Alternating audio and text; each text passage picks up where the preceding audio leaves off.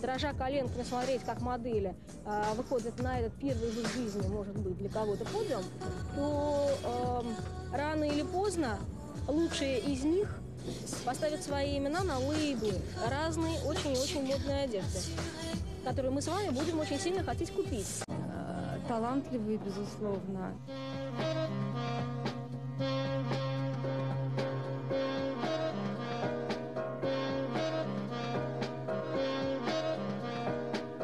Что касается коллекции «Красная скрипка», она возникла совершенно не случайно.